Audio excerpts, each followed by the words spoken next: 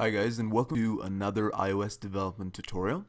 In this video we're going to continue our look at how you can customize UI table views uh, to essentially create uh, a nice user interface for your application. So I've got a pretty simple table view up in my uh, simulator. Um, this is just a standard set of table view code. Uh, if you've never worked with table views before, do take a look at my creating a simple table view tutorial. I think it does a pretty good job of walking you through how you can create a pretty basic table view in iOS. Great. So one of the things that uh, you may have noticed is if you've working with or if you've worked with an application that uses table views before, they sometimes have a little indicator here on the right. Uh, it could be um, some kind of a um, arrow or uh, a, even a check mark. So what those actually are um, are something called accessory views and uh, there are three accessory views that come uh, default sort of out of the box in iOS. Um, so let's take a look at how you actually implement them. Also, if you're implementing a master detail based application, you're probably used to tapping a row and loading a detail view about that particular row. Now, that is of course done through a different method but you may have also noticed that there's usually a small arrow that appears there. So just so you know, that arrow does not appear automatically. You actually have to use what we're going to show you here, what I'm going to show you here in this particular tutorial um, to generate that arrow. Right, so I've got here a simple table view and you'll notice that I've got an NS array with a bunch of NS string objects and then I've got my standard table view data source methods and in particular the method we're concerned about is the table view um, colon cell for row at index path method. Uh, so you'll see here, of course, we're doing our standard stuff. You know, we're creating a cell, checking to see if there's any that we can reuse. Um, and then we're setting the text label.text property uh, to whatever we're currently looking at in terms of the index path.row in that array. Now here's sort of our step 2.5 where we can go through and set something called the accessory type property for that particular cell. The accessory type is essentially an, an accessory view. So the way we set that is we just come down here and go cell dot accessory type and you'll see that there's actually three kinds of accessory types that I can use.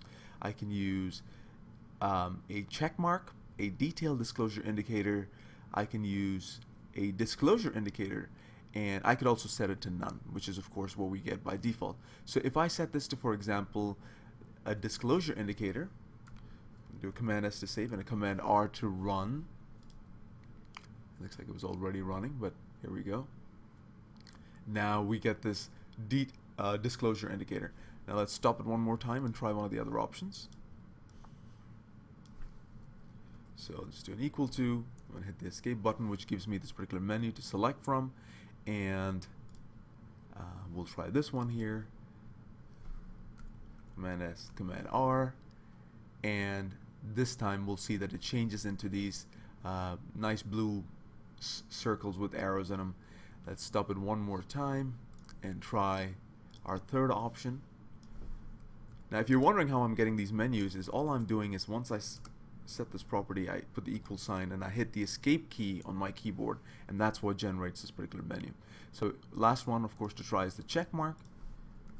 Command S and Command whoop, Command R to run and here we go and now I have a check mark now um, let me go ahead and stop this application now before you decide to just implement whatever you like you should know that Apple actually intends for these different accessory types to mean something. Uh, if you want to take a look in greater detail you can do so via the organizer window. So let me click on the organizer. Now I will tell you that I was earlier searching for this reference for this tutorial and what I put in into the search is the table view cell accessory and then I eventually ended up with a bunch of different documents and I looked at the one called standard styles for table view cells and in here is a little blurb about accessory views. So you'll see that Apple points out the very same three accessory views that we just looked at. We've got a disclosure indicator, and the disclosure indicator should be used when if the user selects a cell, it results in the display of another table view reflecting the sort of next level in the data model hierarchy. What that basically means is if you are using a master detail application and tapping a row loads a detail view, this is the accessory type Apple is expecting you to use. Then there's also the detail disclosure button and um, you can see the using that selecting a cell results in a detailed view of the item, which may or may not be a table view. So these two are sort of interchangeable. Ideally, you want to use the first one if your next view or detail view also has a table view. If it doesn't, Apple would prefer that you use the detail disclosure button. There's also the check mark and you can see that here it's usually implies that when the user taps that it ends up they end up selecting that particular value in whatever next piece of UI you've got. So keep that in mind um, and keep the human interface guidelines in mind because users expect certain things to occur um, when they see these uh, particular uh, accessory types.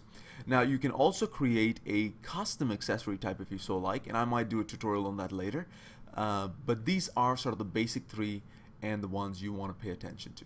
So thanks for watching. We'll catch you in another tutorial.